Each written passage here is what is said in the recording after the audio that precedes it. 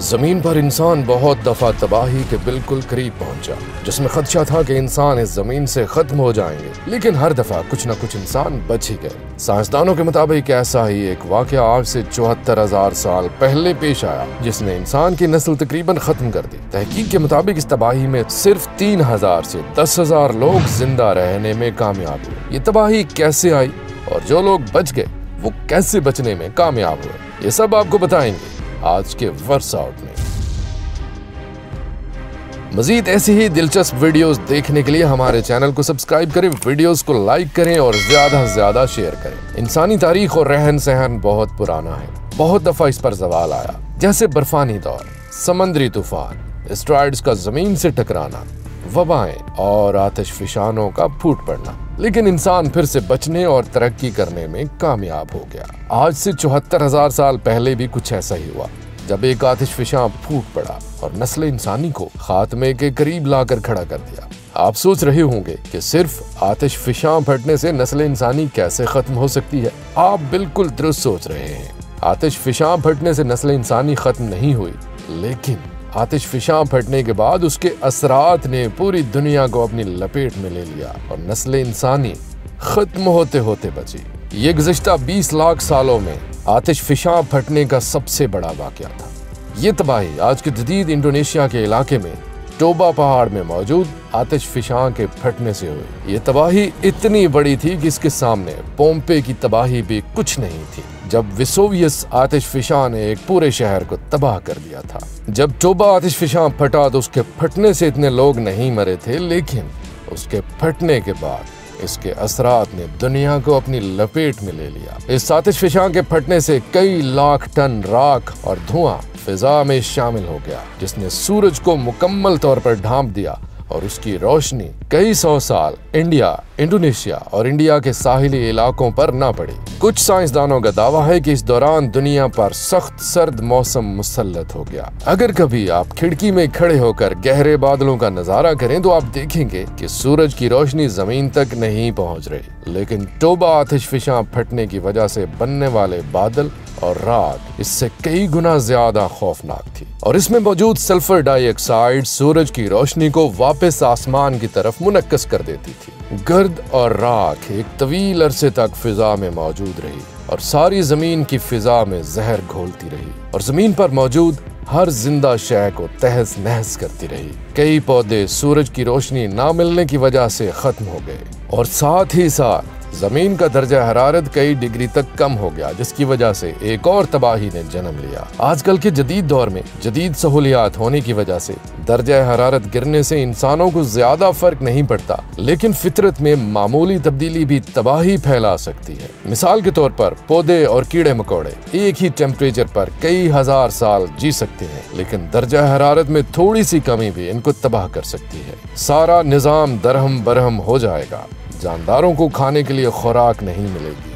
और यही हुआ। तकरीबन तमाम जानदारों को मौसम सरमा के दौरान खुराक न मिल सकी और तमाम जानदारों की तादाद खौफनाक हद तक कम हो गई। इस दौर में लोगों ने सब्ज़ियाँ, फल और मशरूम्स खाकर अपनी जान बचाई। लेकिन आतिश फिशा की राख ने तकरीबन हर चीज़ को तबाह कर दिया। सूरज की रोशनी की कमी की वजह से लोगों में विटामिन डी की भी कमी हो गई और वो कहत साली का शिकार हो गए और मायूस रहने लगे। ताहम कुछ साइंसदानों का कहना है कि बहुत से लोग इस अरसे में बहुत आसानी से अपनी जान बचाने में कामयाब हो गए। खासकर साउथ अफ्रीका के साहिली इलाके में इस सानहे से बहुत कम नुकसान हुआ। और वो कबाइल जो पानी के नज़दीक रहते थे, उन्होंने मछलियाँ पकड़कर अपनी जान बचाई। दोनों नजरियात अगरचे साबित नहीं किए जा सके, लेकिन साइंसदान अभी तक इस बात की तलाश में है कि इस सातिश फिशा फटने के हादसे के बाद इंसान ने दोबारा कैसे तरक्की की।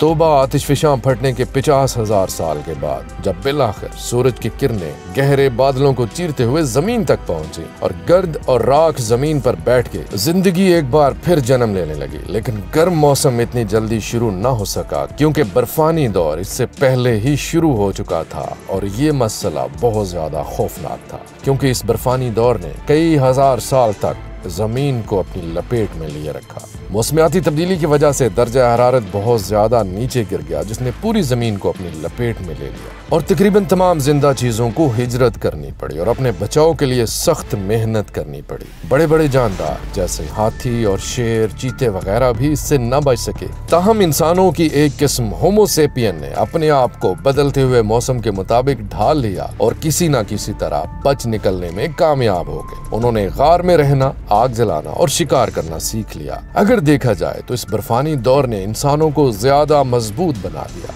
आजकल के जदीद दौर में इस तरह के मौसम से दुनिया की मीशत बहुत ज़्यादा मुश्किल का शिकार हो सकती है और दुनिया भर में माली बहरान पैदा हो सकता है। आखिरी दफ़ा बर्फानी दौर जैसी सूरत हाल का सामना उन्नीसवी सदी के शुरू में सारी दुनिया को करना पड़ा। जब 1816 में तंबूरा पहाड़, जो कि इंडोनेशिया में वाकई है, फट पड़ा और इसके नतीजे में लाखों टन राख और आतिश फिशानी मवाद इससे निकलकर पूरी दुनिया की फिजा में फैल गया और पूरी दुनिया को अपनी लपेट में ले लिया। जो लोग इस आतिश फिशानी जजीरे में रहते थे, उन्होंने इस आतिश फिशां के फटने के चंद मिनट में ही बहुत बड़े नुकसान का सामना किया, लेकिन जल्द ही पूरी दुनिया इसकी लपेट में आ गई। आतिश फिशानी गर्द ने सूरज की किरणों को ज़मीन पर पहुँचने से रोक दिया, पूरी दुनिया को अपनी लपेट में ले लिया।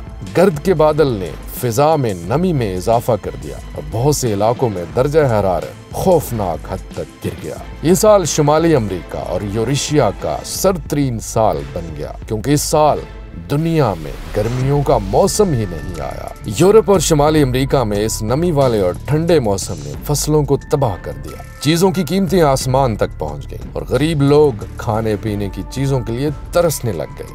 और इसके साथ ही साथ चीज़ों को एक जगह से दूसरी जगह पहुंचाना नामुमकिन हो गया। इस दौर में लोग घोड़ों के ज़रिए अपनी चीज़ों को दूसरी जगह पहुंचाते थे और घोड़ों के लिए चारा इतना महँगा हो गया कि लोग उसे खरीदने की ताकत नहीं रखते थे। और कहा जाता है कि इस दौर से मुतासर होकर कार्ल ड्रेस ने दुनिया की पहली बाइसिकल ईजाद की। और ये भी कहा जाता है कि इस अरसे में मशहूर जमाना अफसानवी किरदार डॉक्टर फ्रेंकनस्टाइन और उसकी बला की तख्लीक हुई। स्विट्जरलैंड में एक बंगले में बायरन और शेले इकट्ठे हुए। खराब मौसम और तूफानी बारिश ने मैरी शेली को डॉक्टर फ्रेंकनेस्टाइन और उसकी तखलीक करदा बला के बारे में लिखने के लिए माहौल फ्राहम किया। ये आतिश फिशा अब भी ज़िंदा है, लेकिन अब दोबारा इसके फटने के चांसेस नहीं है। लेकिन अगर ये दोबारा फटता है तो क्या हम इसके लिए तैयार होंगे? ज़्यादा इम्कान ये है कि इस दफ़ा इसके नतज और नुकसान बहुत कम होंगे, क्योंकि हमारे पास अब ज़्यादा बेहतर टेक्नोलॉजी मौजूद है। बहुत बड़े बड़े इंक्यूबेटर्स और ग्रीन हाउसेज मौजूद हैं, जहाँ पर सब्ज़ियाँ और फल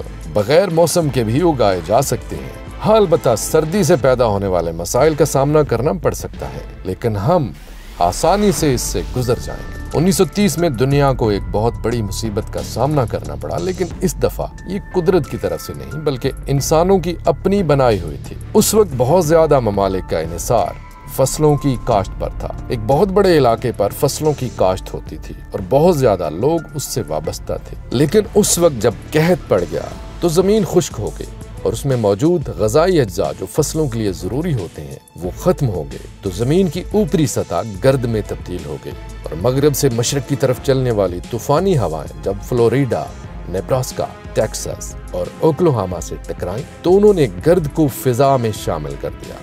और बादलों की एक मोटी तह बना। दी उस वक्त को बहुत ज़्यादा मुश्किल तस्वर किया जाता है। लोगों में बहुत ज़्यादा मायूसी फैल चुकी थी। ये गर्द का तूफ़ान आठ साल तक जारी रहा। बहुत से लोगों को घर छोड़ने पर मजबूर किया और लोग दूसरे मुल्कों में जा बसे। ये गर्द का तूफ़ान इतना खौफनाक था कि इसने वाशिंगटन शहर तक सूरज की रोशनी पहुँचने से रोक दी। तमाम शहर पर रेत की बारिश होने लगी, जिसने सांस लेने में शदीद मुश्किल पैदा कर दी। बहरी जहाज़ जो कि बहरे ओकियानूस में मौजूद थे, उनके कैप्टन का कहना है कि फिजा बहुत ज़्यादा आलूदा हो चुकी है। जलजलों, आतशफिशानों, सैलाब, समंदरी तूफ़ान, आग का लगना, इन तमाम मुसीबतों ने जानदारों की तमाम अकसाम को इस दुनिया से ख़त्म कर दिया, लेकिन इंसान इन सख्त तरीन हालात का मुकाबला करते हुए अपने आप को किसी न किसी तरह बचाने में कामयाब रहा। इसलिए मुस्तबिल में आने वाली किसी तबाही से परेशान होने की ज़रूरत नहीं है। लोग इसका सामना कर ही लेंगे। लेकिन अगर कोई बहुत बड़ा एस्ट्रॉयड ज़मीन से टकरा जाए या ज़मीन की फिजा जहरीली हो जाए तो फिर क्या होगा? इस सूरत हाल में बेहतरीन हल ये है कि किसी दूर दराज जजीरे की तरफ़ जाया जाए या फिर चाँद पर चले जाए।